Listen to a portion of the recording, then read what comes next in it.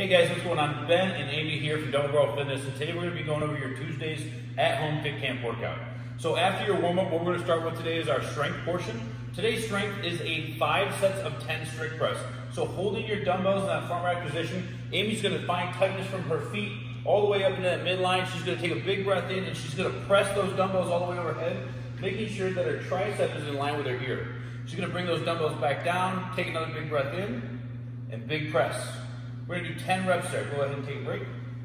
After your 10 or five, after your five sets of 10, we're gonna do one minute of a push-up plank every in between each set. So Amy's gonna go into that push-up position. She's gonna focus on squeezing her glutes, keeping that midline nice and tight, and pushing through those heels. Just gonna hang out here and take a break. We'll do that for one minute after each set of pressing. All right, so that's the strength portion. After the strength, we're gonna go into the workout. Today's workout is a 12 minute EMOM. Every minute on the minute. So minute one, we're gonna perform 20 alternating dumbbell snatches.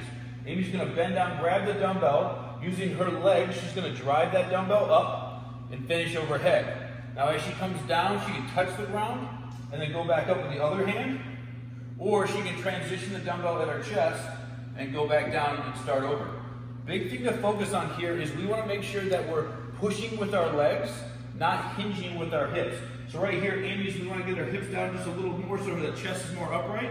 And she's going to drive up with those legs, big punch. As opposed to, can you give me a side view?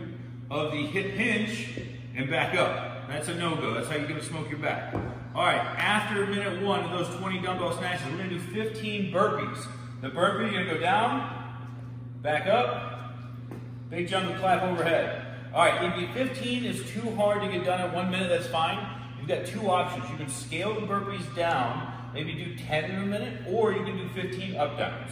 So up down, just shoot those feet back and stand up. All right, guys, that's your workout today. Have a great day.